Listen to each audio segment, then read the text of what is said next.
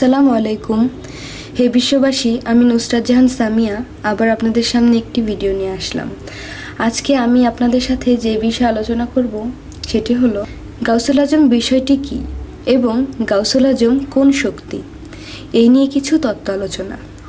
আমার আলোচনাগুলো অবশ্যই আপনারা মনোযোগ সহকারে শুনুন। গাউসুল আজম কি?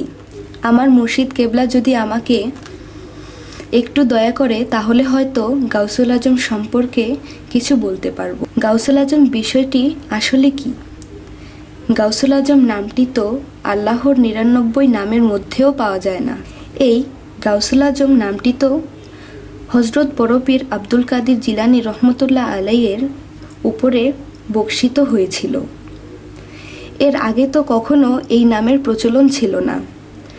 বড়পীরকে দিয়ে এই নামের শুরুটা হয়েছিল। গাউসুল আজম কোন শক্তি? যেই নামের গুণে আগুন হয়ে যায় পানি। নবুয়াতের সময় এই গাউসুল আজম নামের শক্তিটি কোথায় কীভাবে ছিল? এবং নবুয়াতের পরে বড়পীর আব্দুল কাদের জিলানি রহমতুল্লাহ আলাই আসার আগ পর্যন্ত এই গাউসুল আজম নামটি কোথায় কীভাবে ছিল? এই গাউসুল আজম নামটির এত শক্তি কেন? যে বড় পীর সকল পীর আউলিয়ার সর্দার। সর্দার হইলেন।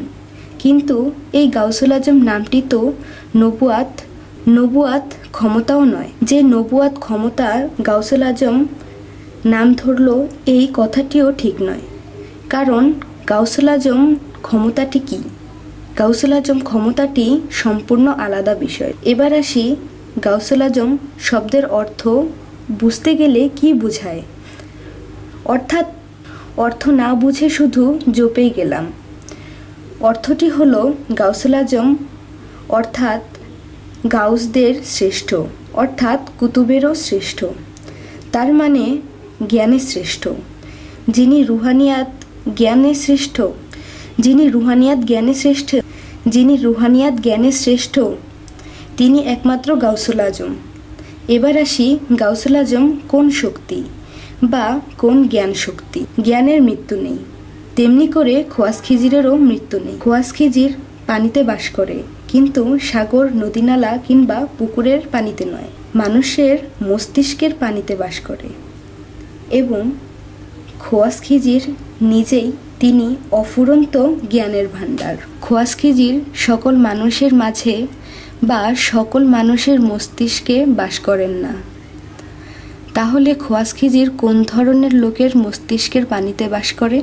যিনি মুর্শিদ নামে খোদাকে পাইতে যাইয়া ভালোবাসিয়া প্রেম সাধনা এবং সর্বত্যাগী হইয়াছে এবং নিজেকে পবিত্র করেছে, তার একমাত্র একমাত্র তার মস্তিষ্কের পানিতেই বাস করেন। খোয়াস খিজিরের মুখে যাহা বলে দেয়, তাহাই হয়ে যায়। এবং সামনে ও পেছনে কি হইল এবং কি হইবে সকল কিছুই তিনি দেখতে পায়। সর্বপ্রকারের জ্ঞান তাহার কাছে আছে। মুসা নবীকে এই খোয়াস খিজির জ্ঞানের শিক্ষা দিয়েছিলেন।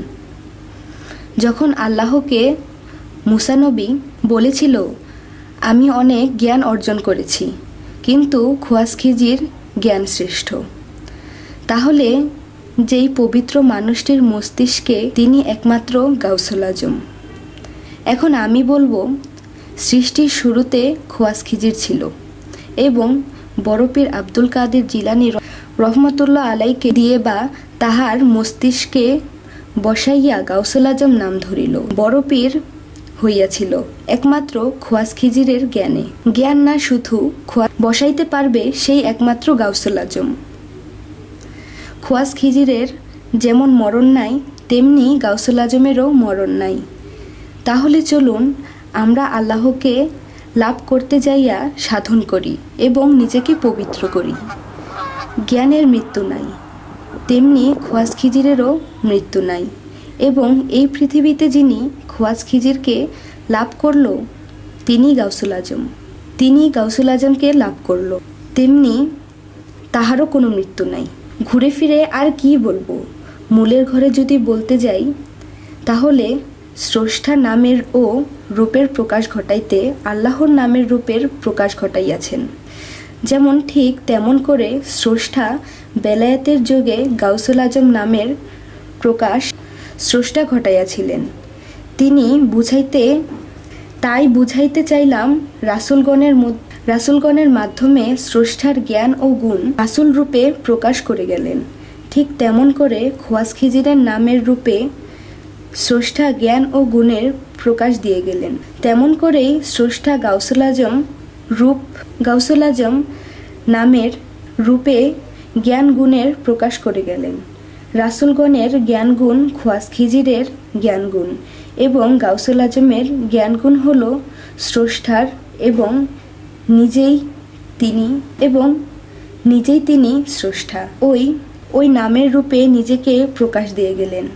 গাউসুল আজম আবার, গাউসুল আজম আবার কোন যোগে কোন নাম ধরে আসে তাহা স্রষ্টাই ভালো জানে। এই বলে আমি আমার ভিডিও শেষ করছি। সকলেই ভালো থাকবেন, সুস্থ থাকবেন এবং আমার আলোচনাগুলো যদি আপনাদের ভালো লাগে, আমাদের চ্যানেলটিকে সাবস্ক্রাইব করে আমাদের সাথেই থাকবেন। আল্লাহ হাফিজ।